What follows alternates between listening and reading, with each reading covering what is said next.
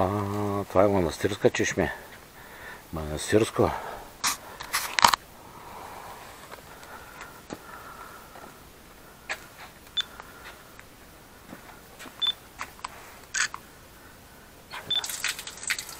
Работи? Да. Пусти, пусти. Пусти. Да се поизточи. Може да напълним малко водица. Студена ли? Не виж.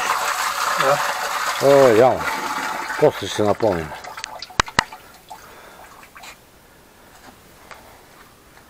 Чешма в манастира. Манастирска чешма. Девическа. Чиста, неопетнена.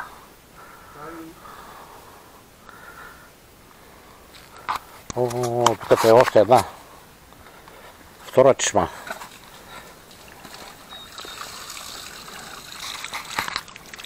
Тята ще е много стара обаче. И тя мра... от мрамор.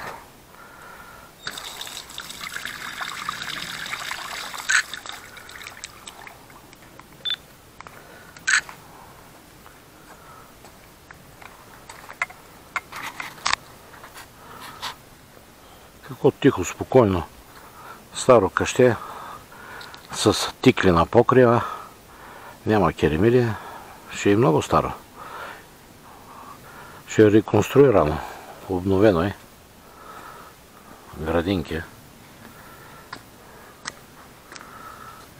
Света Троица. Те Света Троица, обаче там ги гледам са двама. Е. Третия кой е по средата? Ангелчето. Сигурно.